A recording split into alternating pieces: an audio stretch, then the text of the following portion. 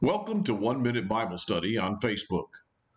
When the Apostle Paul wrote the church at Rome, he rhetorically asked, Or despisest thou the riches of his goodness and forbearance and longsuffering, not knowing that the goodness of God leadeth thee to repentance? Romans 2, verse 4. The magnificence of God's attributes is a powerful and positive motivation for people to repent. On the other hand, the consequences of not repenting of sin is perishing or losing one's soul, Luke 13 3. And that's another powerful motivation for turning away from your sinful way of life. These two motivations, once realized and understood, can move us to change that old stubborn will and submit to God. You must be willing to repent of sin if you desire to go to heaven.